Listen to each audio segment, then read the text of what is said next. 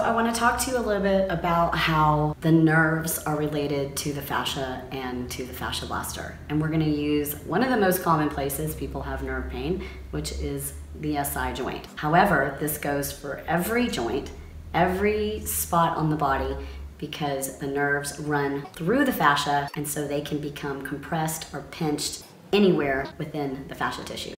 Just to help have it be in perspective, we're going to use Mr. Bojangles, the skeleton, because this is the part of the body that I have drawn up here on the board. So we can clearly see the bones. These are all independent joints, every single spinal segment, you know, each rib, the elbow, it doesn't matter where it is on the body. These are all these individual segments. Then the body is covered with muscle tissue. And then we have the long muscles that come up the back, like our lats.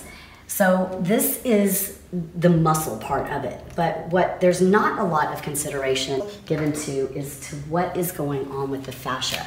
And we have fascia inside each of these vertebral segments. Again, doesn't matter if it's an elbow, finger joint, same thing. The fascia is running through there. It runs in super long lines, just like the muscles, and we're talking about the connective tissue.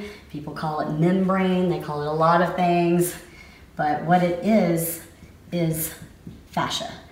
And we're talking about two types of fascia. We're talking about these long lines. That's our structural fascia. And then inside the muscles, kind of like cobwebs, we have the interstructural fascia. So running all throughout the spine, again, bottom of the feet, knees, all the way up the neck, brachial plexus. We have these nerves shooting out everywhere. And remember, all of these nerves are running within the fascia. So you can start to see where things could go awry.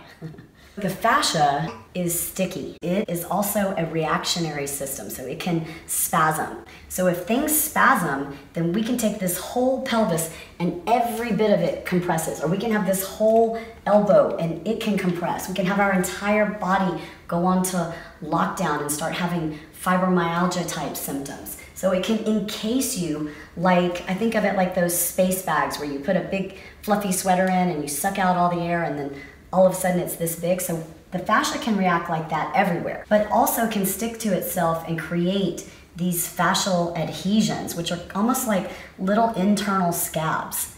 And it's very common that if we get enough adhesions, that not only does it clamp on nerves, but it can actually start to cause a freezing of the joint, meaning a total lockdown of the joint. So anywhere that we have a fascial adhesion that it's clamping on a nerve, that's somewhere that we can have a nerve issue.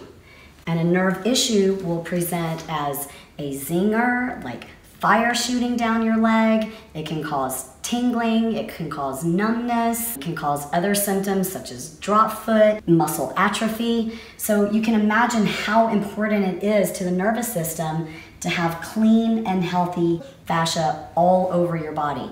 And that's where the fascia blaster comes in. So the fascia blaster, you would run it across the skin into the first layer of fascia and then over time deeper and deeper and deeper to restore these fascial adhesions as well as loosen the overall fascia system. And we know that this is working because when we did our scientific studies, you can clearly see in the before ultrasound, even though it's a thigh, you can see that the white stuff, which is all the fascia, is very mangled. And then in the after picture, look how beautiful and smooth it is. So imagine if our whole body had none of these fascial adhesions, it was not sticking to the muscles, not closing the joints, not clamping on the nerves. So it's really, really a very impactful tool for our nervous system.